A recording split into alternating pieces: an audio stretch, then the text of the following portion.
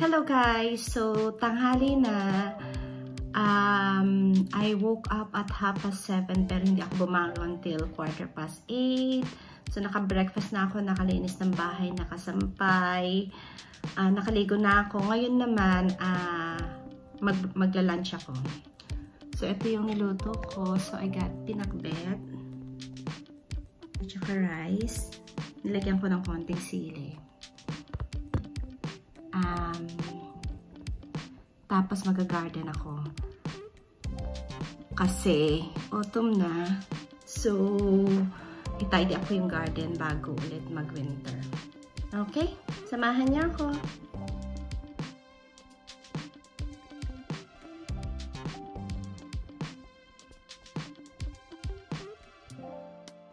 Hmm. Ako lang mag-isa. Kasi yung mga mga bata nasa nasa school.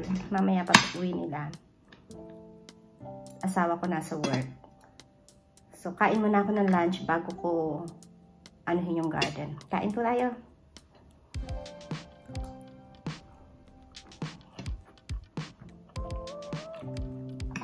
Sarap talaga ng pinakbet. Kaya kong kainin pinakbet kahit walang kanin. Pero may kanin ako, syempre.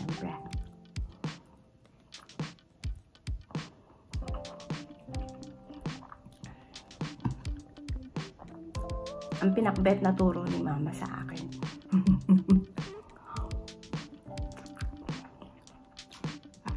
Late na rin pala ako nakapag-start na ano. Kasi tumawag pa ako sa mama ko. Lagi po kasi akong tumatawag kay mama. I try na everyday. Almost everyday naman nakakausap ko siya talaga. Unless hindi niya narinig yung tawag ko sa kanya. Hindi siya marunong mag-comment or mag-message. So, kaya tawag talaga. So, simula pandemic, dahil hindi nga nakaka-uwi, so, everyday kami nag-uusap ni mama.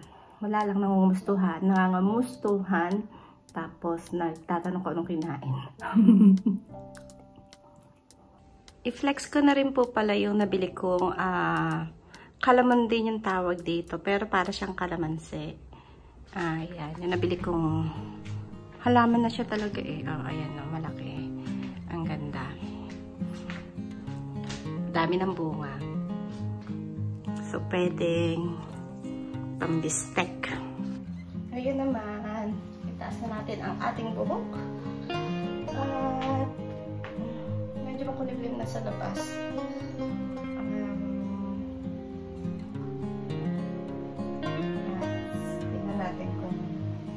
kaya ko magmumma. Kasi normally asawa ko, pero dahil lagi kami busy lately, tapos, lumalabas nga kami. Wala siyang time mag-garden. So, ngayon, mag-garden tayo! So, ayan, magulo yung garden. Makalat. Laruan ni, ni Molly. Mga sampay. Kasi maganda, sabi ko, magsampay muna ako. Para matuyo. Which is tuyo na ata siya. Palit ng mga bedsheet kanina. Okay, yes, tuyo na siya. Medyo malamig lang siya, pero tuyo na siya. Kunin ko lang muna yung mower. At, tadadaan, magulo dito. Ngayon naman, kunin ko muna yung mga, mga sampay. At makulimlim talaga.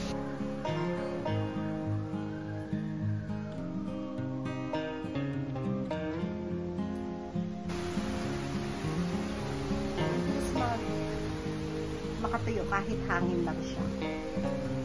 At kahit malamig ang hangin.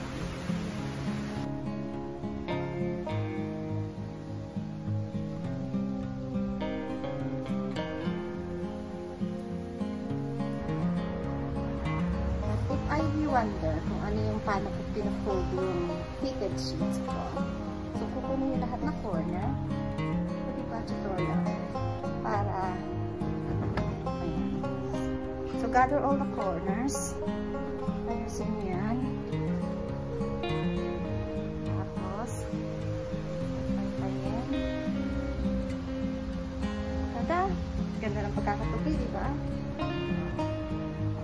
Tada!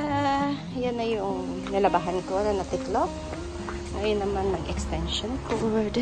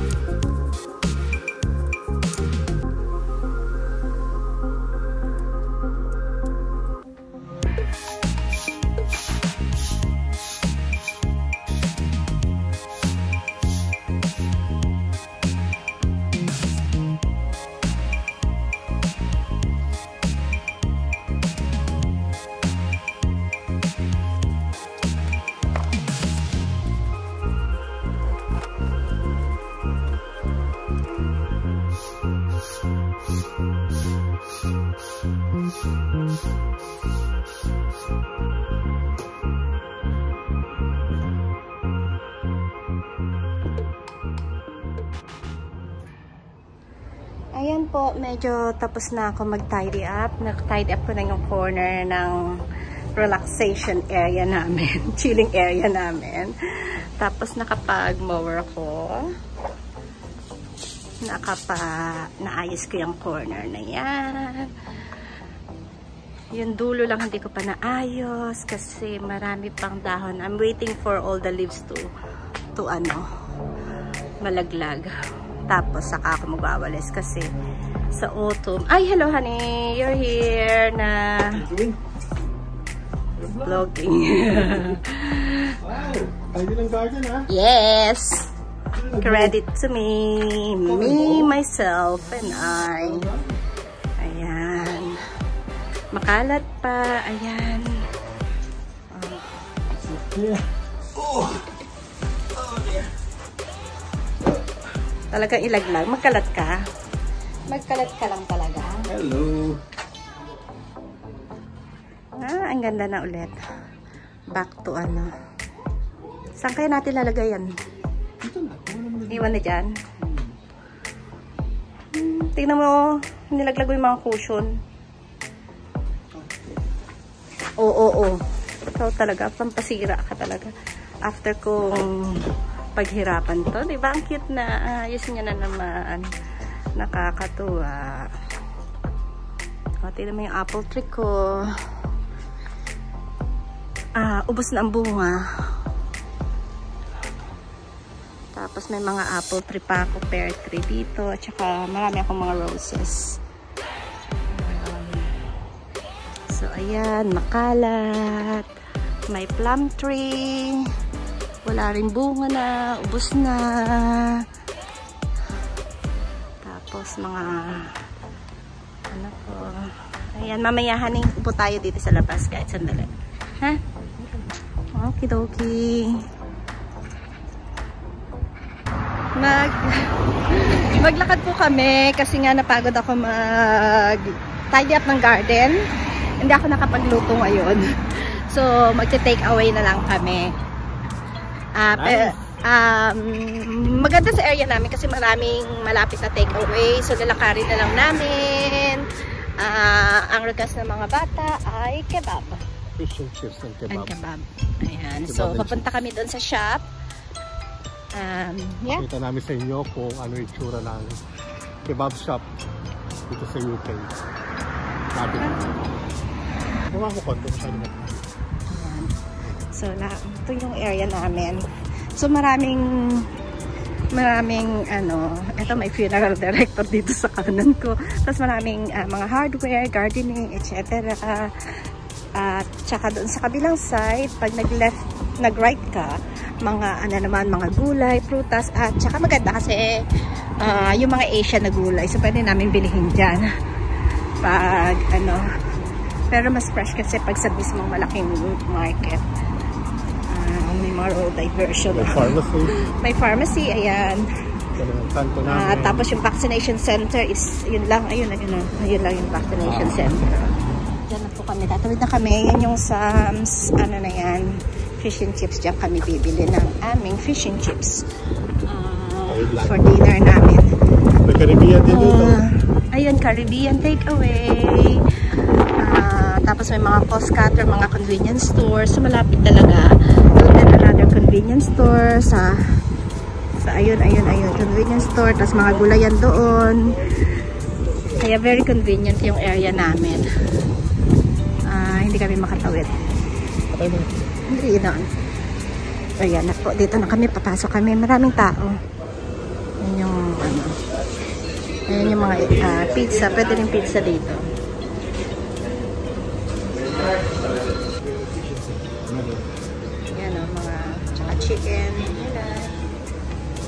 Another chicken.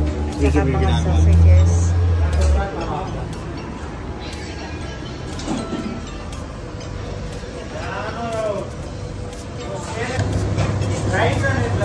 So salt and vinegar.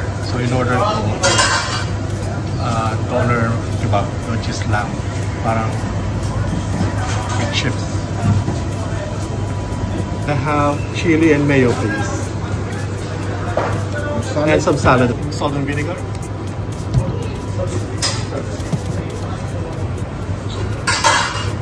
So, sa panganay namin is chicken. Ito kasi isa pala yung doner kebab natin sa dalawa. Sa, tiga sa kami ni Jeremy. And then si Kuya is chicken kebab. Nagdagan pa niya ng konti.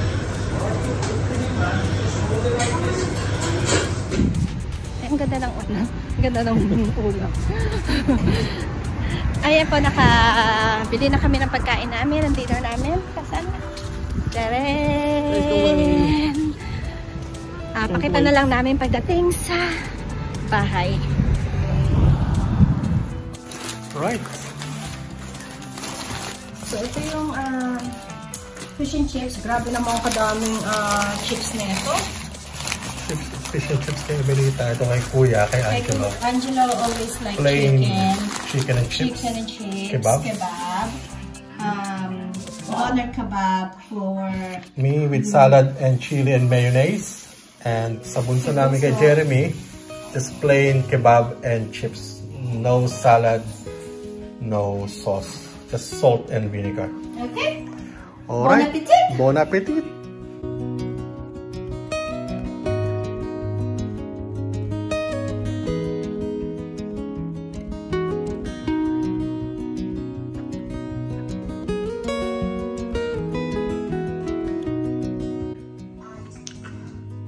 At simot sarap.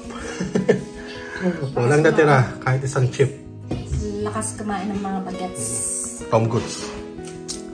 Super busog. Ah. Ito na po yung garden na pinaghirapan ko kanina ayusin. So, upo muna kami. Ayan, ayos ko. Tapos may ilaw. May electric pan pa. so, ayan. Upo muna ako dito. Relax, relax. And enjoy the weather.